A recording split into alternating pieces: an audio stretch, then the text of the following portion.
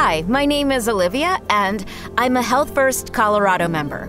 Health First Colorado helps me and other people with disabilities.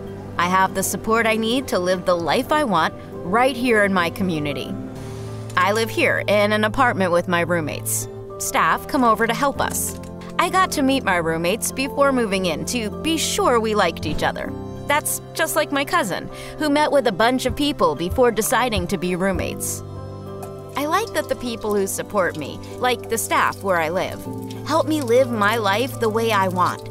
They know that I have rights that are the same as anyone else's. For example, I have a residential agreement. It looks a lot like my cousin's lease. Residential agreements and leases give people legal rights and responsibilities. We have a right to a fair process if we are asked to move out. Both of our landlords have keys to our apartments and bedrooms, but I have a say in who my landlord gives copies to and when they can come in. During the day, my roommates and I all do our own thing. We have the right to decide what we do each day.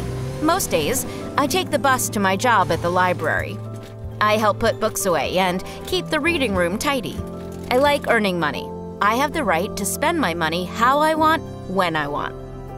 When I get home from work, I am usually hungry, so I help myself to a snack from the kitchen. I don't have to ask anyone for permission. Then, I like to text with my cousin in my room. I have the right to use my own cell phone, just like him. He says the funniest things sometimes. I decorated my room how I like it. This room is definitely Olivia Central. Sometimes I have friends over and we play video games in here.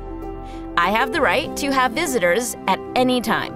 I met one of my friends through my job at the library. Are you interested in learning more about your rights? Ask your staff.